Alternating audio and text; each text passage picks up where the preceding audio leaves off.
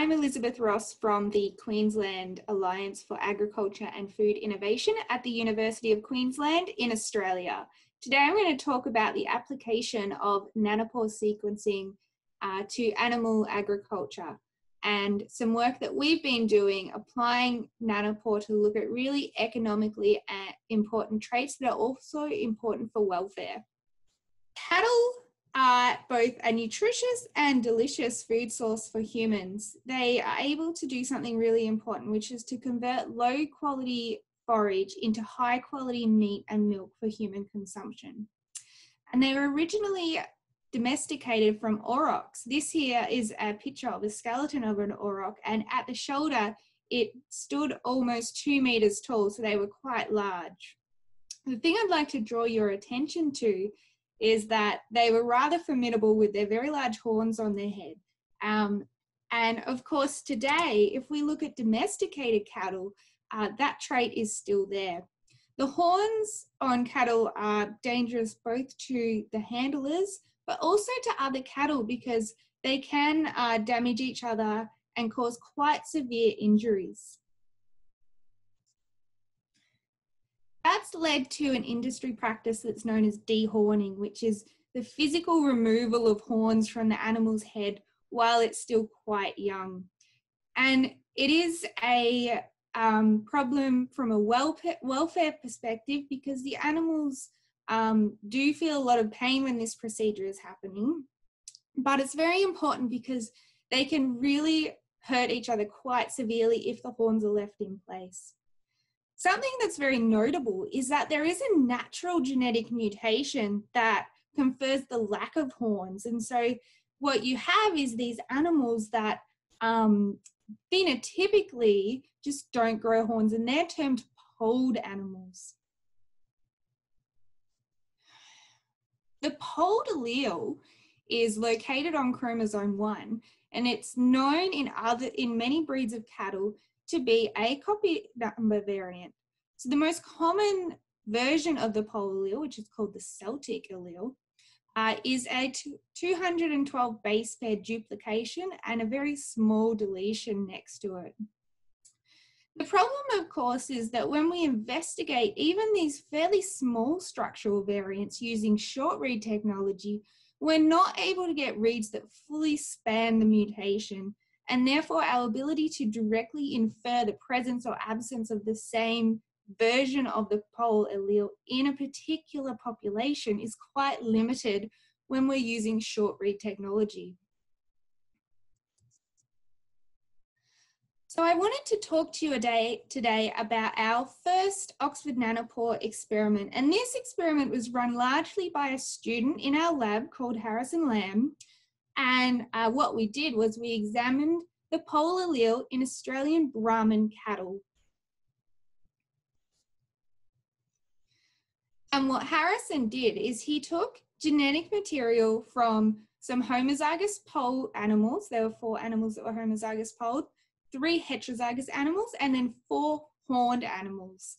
And we examined the hypothesis that the Celtic allele would be segregating in this population. And we wanted to know, can we determine the causal mutation of the poll allele in Australian Brahman cattle using nanopore sequencing? So Harrison took these three different groups of animals that were, and their genotype had been determined by parentage assessment. Um, and he extracted DNA from commercially purchased semen from each of these groups. And for each bull, he ran one MinION flow cell and collected data on them. And then he analyzed this data um, using Minimap um, and some dot plots to look at what structural variants were present near the known poll locus. And what we could see very clearly at the poll locus is that in the case of the homozygous pole uh, bulls, or both copies of the duplication were present. And you can see this in the gray alignments by the lack of any deleted regions. In the heterozygous animals, you can clearly see that there is a mixture of both uh, reads with one copy and reads with two copy of the duplicated region. And additionally, you can see that that ten, small 10 base pair deletion um, just up the top there. Furthermore, in the homozygous pole animals, you can see that all animals are missing one of the duplicated copies. And it's important to note that even though not all of these deletions line up, because of the way that um, reads are mapped to a genome, there's a 50% chance that either one of those two copies is going to come up as the deleted version. So all of the reads from the horn animal support that this there's only one copy of the duplicated region.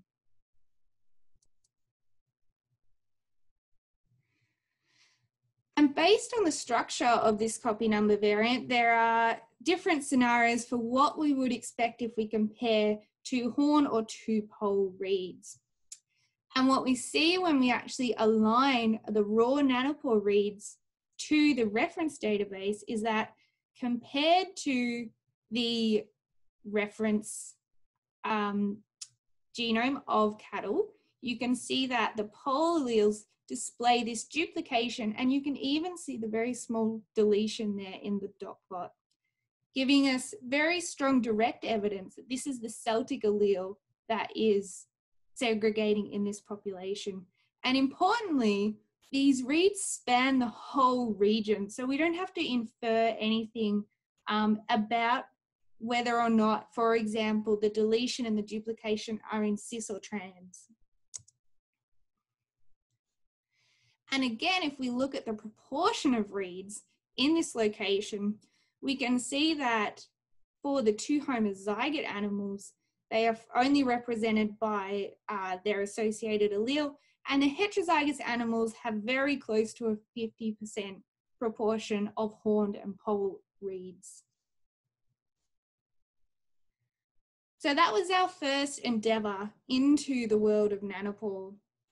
And from then to now, we've actually come quite a long way. What you can see is that this is one of the original runs that Harrison did. And you can see that we had very low pore occupancy. But with a lot of op optimization, we're getting much better pore occupancy. And this is a fairly recent run that we did on a MinION flow cell, where you can see that we're using almost all of the available pores and we're reloading the flow cell several times throughout the run. And this particular flow cell gave us 40 gig of data output. So we're quite happy with the reads that we're getting now. And as we've sort of progressed, we have increased, this is our average yield from each MinION flow cell. We've increased that quite substantially. And we're at the point now where we are fairly confidently able to obtain almost tenfold coverage for each animal because the cattle genome is the same size as the human genome. Um, and tenfold coverage gives us really good uh, confidence that we're going to be able to accurately genotype known variants, but also to discover new variants. So I'd just like to thank Harrison Lamb, who did this poll work, but also Lo Nguyen, who optimized our MinION runs, Professor Ben Hayes, who had the vision to start using Nanopore in our group, and Dr. Burns, Dr. Lyons, and the Australian Brahman Breeders Association. I'd like to thank you all for listening to this talk, and if you have any questions, I'll reply to them as soon as I can. Thank you.